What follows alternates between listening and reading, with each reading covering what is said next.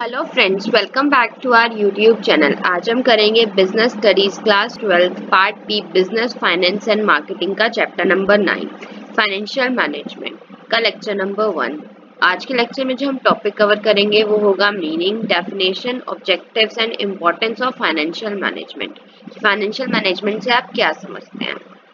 तो सबसे पहला जो टॉपिक आता है फाइनेंशियल मैनेजमेंट को समझने से पहले आपको पता होना चाहिए कि बिज़नेस फाइनेंस क्या होता है। या फाइनेंस क्या होता है? फाइनेंस मतलब पैसा। हर चीज़ को करने के लिए, हर बिज़नेस को सेटअप करने के लिए पैसा चाहिए और उसको रन करने के लिए डेली एक्सपेंसेस बेयर करने के लिए और जितने भी आपके work to day day to day expenses हैं डे टू डे एक्टिविटीज़ हैं मंथली एक्टिविटीज़ हैं क्वार्टरली एक्टिविटीज़ हैं, कोई भी एक्टिविटी है, उन सबको रन करने के लिए आपके पास पैसे का होना बहुत ज़रूरी है। और वही पैसा जब एक ओवरऑल बिज़नेस में यूज़ किया जाता है टू जनरेट प्रॉफिट वो क्या कहलाता है आपका? Business finance the money required to carry out business activities is known as business finance वो पैसा जो बिज़नेस एक्टिविटीज़ को करने के लिए यूज़ किया जाता है, उसको क्या कहते हैं? Business finance finances are needed to operate a business पैसा किस लिए चाहिए? बिज़नेस को ऑपरेट करने के लिए, चलाने के लिए as well as to carry out day to day activities of the business और जो रोज़ाना की एक्टिविटीज़ होती हैं बिज़नेस की, उसको भी चलाने के लिए क्या चाहिए? पैसा चाहिए। तो वो पैसा क्या कहलाता है? बिज़नेस फाइनेंस कहलाता है। अब आता है फाइनेंशियल मैनेजमेंट अब वो जो पैसा उसको किसी तरीके से आप यूज़ भी तो करते हो उसको किसी तरीके से आप मैनेज भी तो करते हो ये तो नहीं है ना कि सारा आप अपना डे टू डे एक्टिविटीज़ पे लगा देते हो फ्यूचर के लिए आप कुछ सेव ही नहीं करके चलते हो, ऐसा नहीं होता है। तो जब पैसे की मैनेजमेंट की जाती है, पैसे को मैनेज किया जाता है कि किस तरीके से हमें पैसे को यूज़ करना है यूटिलाइज करना है, कौन सी एक्टिविटी पे कितने पैसे को खर्च करना है बजट बना के चलना है, वो सब किसके अंडर आता है? हमारा फाइनेंशियल मैनेजमेंट के अंडर आता है। मीनिंग क्या होता है फाइनेंशियल मैनेजमेंट का? It is concern with the proper procurement and usage of finance इसका मतलब होता है कि अच्छे से फाइनेंस को इकट्ठा करना और उसको अच्छे से यूज़ करना। It includes business activities such as procuring funds ये ऐसी बिज़नेस एक्टिविटीज़ को इंक्लूड करता है जिसमें फंड्स को लेना।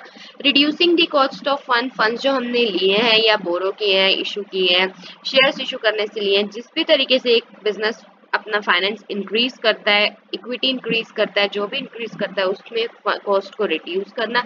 Keeping the risk under control अब जब आप बाहर से उधार लेते हो तो उसमें ज़्यादा रिस्क होता है, उस रिस्क को कंट्रोल करना डिप्लॉयमेंट ऑफ़ सच एंड और फंड्स को अच्छे तरीके से यूटिलाइज करना, ये सब किसके अंडर आता है, आपका फाइनेंशियल मैनेजमेंट के अंडर आता है।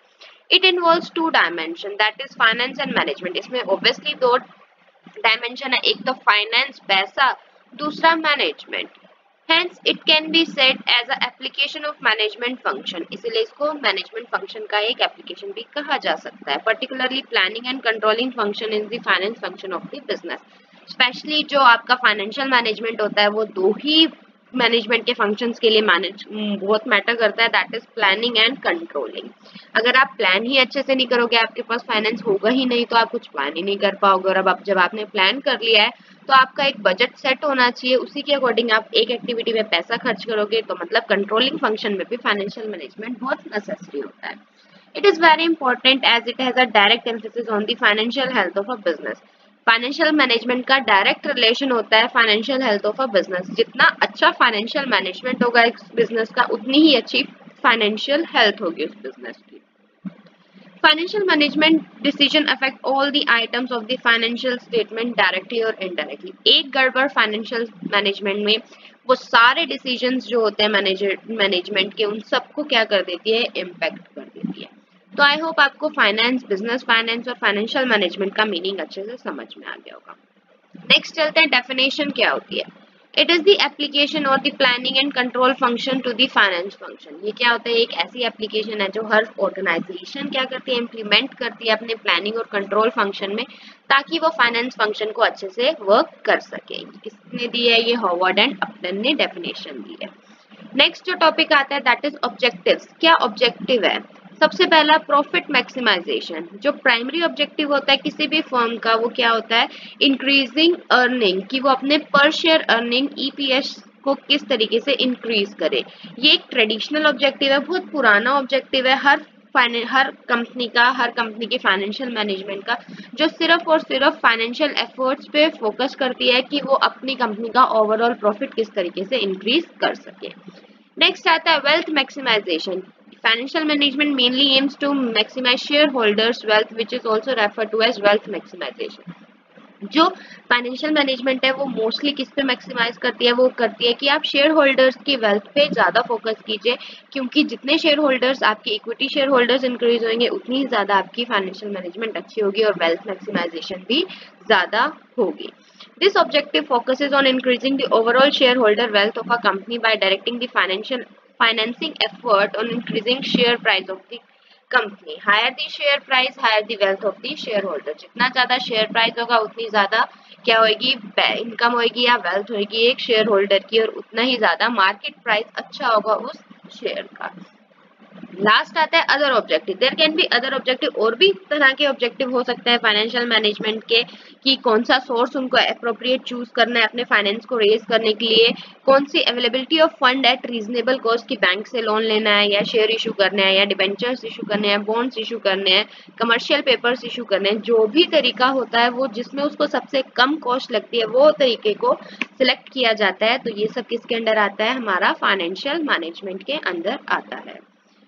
नेक्स्ट जो टॉपिक आता है हमारा that is importance of financial management अब क्या ज़रूरत है पैसे को मैनेज करने की? सबसे पहला था size and composition of fixed assets of the business अगर हम फिक्स्ड एसेट में ज़्यादा इन्वेस्ट कर देंगे ओवर इन्वेस्ट कर देंगे, और हमने अपने साइज़ फिक्स्ड एसेट्स की फिक्स्ड एसेट्स को ही हमने इंक्रीज किया है, और कुछ नहीं किया है, उसमें हमने ज़्यादा इन्वेस्टमेंट कर दी है, ना हमारे पास लेबर अच्छी है, ना हमारे पास प्रोडक्ट अच्छा आ रहा है तो इससे क्या होगा? कुछ बेनिफिट होगा, कुछ बेनिफिट नहीं होगा। तो आपको क्या करना है, अपने एसेट्स को तो इंक्रीज करना है बट उसके साथ साथ उस पर लगने वाली कॉस्ट का भी ध्यान में रखना है, ताकि आपकी ग्रोथ जो है बिज़नेस ग्रोथ वो हैम्पर ना हो। The quantum of current asset at its breakup into cash inventory and receivable the financial decision about investment in fixed assets the credit policy inventory management influences the amount of working capital required by the business enterprises अब आपके पास जितने ज़्यादा current assets होंगे और आपके पास जितने ज़्यादा फिक्स्ड एसेट्स की इन्वेस्टमेंट होगी क्रेडिट पॉलिसीज़ जो आपने ले रखी होगी या आपको इन्वेंट्री जहाँ से रोज का आपका इन्वेंट्री मैनेजमेंट होगा, उन सब की कॉस्ट भी क्या करती है, आपके फाइनेंशियल डिसीज़न को इम्पैक्ट करती है। तो इन सब के खर्चे को डेली एक्सपेंसेस वर्किंग कैपिटल की रिक्वायरमेंट को मेट करने के लिए फाइनेंशियल मैनेजमेंट का होना बहुत ज़रूरी होता है। Breakup of long term financing into debt and equity it is important for financial manager to decide the way by which the proportion of debt or equity in a business has to be pumped in ये भी financial management का काम होता है financial manager का काम होता है कि वो इस तरीके की वे निकाले जहाँ से उसका डेट और इक्विटी का प्रमोशन प्रोपोर्शन है वो क्या रहे सही रहे ऐसा ना हो कि कंपनी डेट में ज़्यादा फंसती जा रही है और इक्विटी शेयर कैपिटल उनके पास है ही नहीं। या किस तरीके के फाइनेंस को उन्होंने ऑप्ट करना है, किस तरीके से अपने फाइनेंस को रेज करने के लिए मार्केट में जाना है शेयर कैपिटल लेनी है या इक्विटी कैपिटल लेनी है डेट कैपिटल डिवेंचर्स इशू करने हैं तो ये सब भी उनकी डेट और इक्विटी को ध्यान में रख के लिया जाए ताकि हमारी मैनेजमेंट को या हमारे बिज़नेस की ग्रोथ में कोई भी इम्पैक्ट ना पड़े। इसीलिए फाइनेंशियल मैनेजमेंट का होना बहुत इंपॉर्टेंट है। The amount of long-term and short-term financing to be used. Financing decision decides the proportion of funds raised from long-term and short-term resources.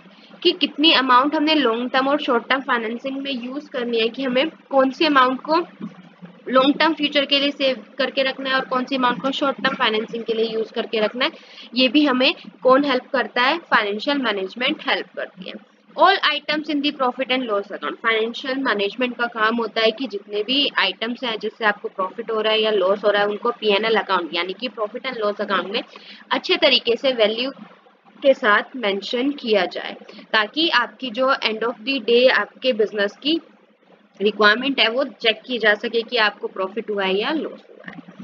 Next आता है all the financial decision taken by financial manager in the past largely affect the current financial decision as well as the future financial decision हर वो डिसीज़न पैसे से जुड़ा हुआ जो एक फाइनेंशियल मैनेजर लेता है पास्ट में वो आपकी करंट आज के टाइम की और आने वाले टाइम की फाइनेंशियल नीड्स को भी इम्पैक्ट करता है। इसीलिए जो ओवरऑल हेल्थ होती है, एक फाइनेंस की, पैसे की, एक बिज़नेस में, वो सिर्फ़ और सिर्फ़ फाइनेंशियल मैनेजमेंट से ही डिटरमाइन की जा सकती है। जितनी अच्छी फाइनेंशियल मैनेजमेंट उतनी ही अच्छी ग्रोथ ऑफ़ बिज़नेस या ओवरऑल हेल्थ ऑफ़ फाइनेंस कहलाती है। ये इसी के साथ हमारा आज का लेक्चर खत्म होता है। आई होप आपको आज का लेक्चर अच्छे से समझ में आ गया होगा बट स्टिल अगर आपको कोई डाउट है तो प्लीज़ आप मुझे कमेंट सेक्शन में कमेंट करके ज़रूर बताएँ। हम अपने अगले लेक्चर में फाइनेंशियल डिसीज़न के टॉपिक को कवर करेंगे. Till then stay safe thank you for watching please like share and subscribe our channel for more video